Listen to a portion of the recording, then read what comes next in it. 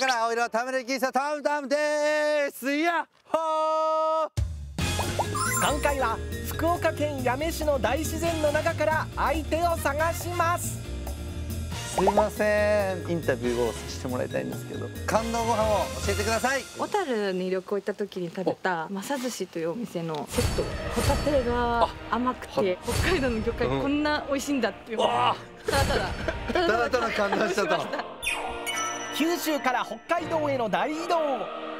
スケジュールの都合で田村から吉原にバトンタッチし地元で有名なお寿司屋さんで感動のお寿司をいただきます。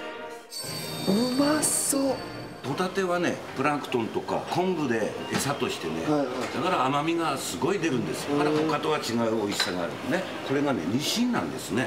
北海道に来ないと生ではニシン食べれません。やっぱホタテからいただきます。はい。うわうまっ。甘みが全然違いますねやっぱり。すごい跳ね返してくる弾力が。ニシンいただきますうますぎる。すっごい優しい甘さ。これ食ったらそりゃまた行きたいってなるわな。北海道の海の幸大満足です。ごちそうさまでした。